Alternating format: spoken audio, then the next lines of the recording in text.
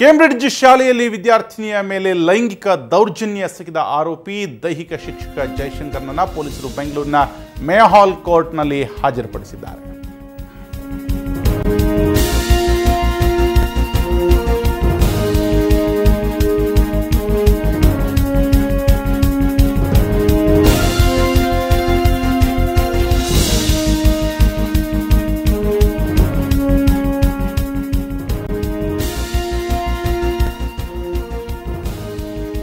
Cambridge ಶಾಲೆಯಲ್ಲಿ ವಿದ್ಯಾರ್ಥಿನಿಯ ಮೇಲೆ ಲೈಂಗಿಕ ದೌರ್ಜನ್ಯ ಎಸಗಿದ ಆರೋಪಿ ದೈಹಿಕ ಶಿಕ್ಷಕ ಜೈಶಂಕರ್ನನ್ನ ಪೊಲೀಸರು ಬೆಂಗಳೂರಿನ ಮೇಯೋ ಹಾಲ್ನ ಕೋರ್ಟ್ನಲ್ಲಿ ಹಾಜರುಪಡಿಸಲಿದ್ದಾರೆ.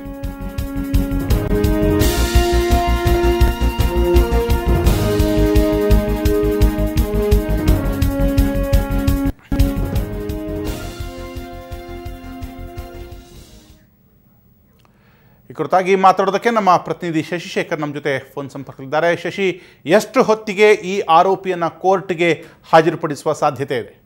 ಈಗಾಗಲೇ ಆರೋಪಿಯನ್ನ Baiyappanahalli police ಠಾಣೆಯಿಂದ tenth A C M M ಕೋರ್ಟ್ಗೆ ಕರೆದುಕೊಂಡು ಹೋಗಲಾಗಿದೆ. ಅಲ್ಲಿ ನ್ಯಾಯಾಧೀಶರ ಮುಂದೆ ಆರೋಪಿ ಜೈಶಂಕರ್ನನ್ನು ಡೇಟ್ ಮಾಡಲಾಗುತ್ತೆ. ನ್ಯಾಯಾಧೀಶರ ಎದುರು ಪೊಲೀಸರು ಈತನನ್ನ ಪೊಲೀಸ್ ಕಸ್ಟಡಿಗೆ ನೀಡುವಂತೆ ಮನವಿಯನ್ನ ಮಾಡಿಕೊಳ್ಳಿದ್ದಾರೆ.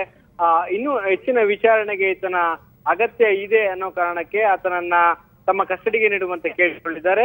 ಆ ಆನಂತರ ವಿಚಾರಣೆ ನಡೆಸಿದ ನ್ಯಾಯಾಧೀಶರು ಪೊಲೀಸರ ಕಸ್ಟಡಿಗೆ ನೀಡುವಂತಹ ಸಾಧ್ಯತೆ ಇದೆ ಯಾಕಂದ್ರೆ, ನಿನ್ನೆ ನಿನ್ನೆ ಮಧ್ಯಾಹ್ನನೇ, ನಿನ್ನೆ ಸಂಜೆಯೇ ಆತನನ್ನ ವಶಕ್ಕೆ ಪಡೆದುಕೊಂಡಿದ್ರು. ಆತನನ್ನ ಈಗಾಗಲೇ ವಿಚಾರಣೆಯನ್ನ ಕಳೆದ ಹತ್ತನ್ನೆರಡು ಗಂಟೆಗಳಿಂದಲೂ ಕೂಡ ಮಾಡಲಾಗಿದೆ. ಇವತ್ತು ಸಂಜೆಯ ಒಳಗೆ ಆತನನ್ನ ಕೋರ್ಟ್ ಮುಂದೆ ಹಾಜರುಪಡಿಸಬೇಕಾಗಿತ್ತು. ಈ ಹಿನ್ನೆಲೆಯಲ್ಲಿ ಈಗ ಕರೆದುಕೊಂಡೋಗಿ ಕೋರ್ಟ್ಗೆ ಮೇಹಾಲ್ ಅಲ್ಲಿರುವಂತಹ ಟೆಂತ್ ಎಸ್ ಎಂ ಎಂ ಕೋರ್ಟ್ಗೆ ಕರೆದುಕೊಂಡೋಗಿದ್ದಾರೆ. ಅಲ್ಲಿ ಈತನನ್ನ ಹೆಚ್ಚಿನ ವಿಚಾರಣೆಗೆ ಬೇಕು, ವಿಚಾರಣೆಗೆ ತಮ್ಮ ವಶಕ್ಕೆ ನೀಡಿ ಅಂತ ಕೇಳಿಕೊಂಡಿದ್ದಾರೆ ಮತ್ತು ಇದನ್ನ ನ್ಯಾಯಾಧೀಶರು ಯಾವುದೇ ಪ್ರಕರಣದಲ್ಲಿ ಆರೋಪಿಯನ್ನ ಮೊದಲ ಬಾರಿಗೆ ಕಸ್ಟ ಕೋರ್ಟ್ಗೆ ಪ್ರೊಡ್ಯೂಸ್ ಮಾಡಿದಂತ ಸಂದರ್ಭದಲ್ಲಿ ಕಸ್ಟಡಿಗೆ ನೀಡ್ತಾರೆ. ಪೊಲೀಸ್ ಕಸ್ಟಡಿಗೆ ನೀಡ್ತಾರೆ. ಆ ಹಿನ್ನೆಲೆಯಲ್ಲಿ ಇವರು ಪೊಲೀಸ್ ಕಸ್ಟಡಿಗೆ ಪಡೆದುಕೊಂಡು ಆತನಿಂದ ಮತ್ತಷ್ಟು ವಿಚಾರಗಳನ್ನ ಪಡೆಯುವ ನಿಟ್ಟಿನಲ್ಲಿ ತನಿಖೆಯನ್ನ ಮಾಡಲಿದ್ದಾರೆ. ಈಗಾಗಲೇ ಆತ ಪೊಲೀಸರ ಎದುರು ತಪ್ಪೊಪ್ಪಿಕೊಂಡಿದ್ದಾನೆ. ತಾನೇ ಈ ಕೃತ್ಯವನ್ನ ಮಾಡಿದ್ದಾಗಿ ತಪ್ಪೊಪ್ಪಿಕೊಂಡಿದ್ದಾನೆ. ಹಾಗಾಗಿ ಇವತ್ತು ನ್ಯಾಯಾಧೀಶರ ಎದುರು ಹಾಜರುಪಡಿಸಲಿಕ್ಕೆ ಕರ್ಕೊಂಡು ಹೋಗಿದ್ದಾರೆ ಹಾಗಾಗಿ ಲೀಗಲೈಸ್ ಮಾಡಿ ಈತನೇ ಆರೋಪಿ ಅಂತ ಪೊಲೀಸರು ಒಂದು ನಿರ್ಧಾರಕ್ಕೆ ಬಂದಿದ್ದಾರೆ ರಾಘವೇಂದ್ರ. ಎಸ್ ಈಗಾಗಲೇ ನೀವು ಹೇಳಿದ್ರಿ ಶಶಿ ಈಗಾಗಲೇ ನೀವು ಹೇಳಿದಾಗೆ ಆ ಆರೋಪಿ ತಪ್ಪನ್ನು ಒಪ್ಕೊಂಡಿದ್ದಾನೆ ಅಂತ. ಈ ಬಗ್ಗೆ ಅಧಿಕೃತವಾಗಿ ಪೊಲೀಸರು ಏನಾದರೂ ಹೇಳಿದ್ದಾರೆ? ವಿಚಾರಣೆಯ ಹೊತ್ತಲ್ಲಿ ಆತ ಏನನ್ನ ಹೇಳಿದ್ದಾನೆ ಅನ್ನೋದ್ರ ಬಗ್ಗೆ ಬಗ್ಗೆ? ಆ ಈ ಬಗ್ಗೆ ಇನ್ನೂ ಕೂಡ ಪೊಲೀಸರು ಅಧಿಕೃತವಾದ ಯಾವುದೇ ರೀತಿಯ ಹೇಳಿಕೆಗಳನ್ನ ನೀಡಿಲ್ಲ. ಆರೋಪಿ ಜೈಶಂಕರ್ನನ್ನ ವಶಕ್ಕೆ ಪಡೆದುಕೊಂಡಿದ್ದೀವಿ. ಅವನೇ ಸ್ಟ್ರಾಂಗ್ ಸಸ್ಪೆಕ್ಟ್ ಇದೆ ಅನ್ನೋ ಕಾರಣದಿಂದಾಗಿ ಆತನನ್ನ ವಶಕ್ಕೆ ಪಡೆದುಕೊಂಡಿದ್ದೀವಿ ಅಂತ ಹೇಳಿದ್ರು. ಆದ್ರೆ ಈಗ ಆತನನ್ನ ಕೋರ್ಟಿಗೆ ಪ್ರೊಡ್ಯೂಸ್ ಮಾಡ್ತಾ ಇರೋದ್ರಿಂದಾಗಿ ಆತನೇ ಅದಕ್ಕೆ ಆರೋಪಿ ಅನ್ನೋದು ಲೀಗಲೈಸ್ ಆಗಿ ಆತನನ್ನ ಅರೆಸ್ಟ್ ಮಾಡಿರೋದು ಸ್ಪಷ್ಟ ಆಗುತ್ತೆ. ಮತ್ತೆ ಆತ ವಿಚಾರಣೆಯ ವೇಳೆ ಆತ ತಿಳಿಸಿರುವಂತದ್ದು ಪೊಲೀಸರಿಗೆ ಮತ್ತೆ ಮಗು ಒಂದು ವರ್ಷದ ಮಗು ಆತನನ್ನ ಗುರುತು ಹಿಡಿದಿದೆ.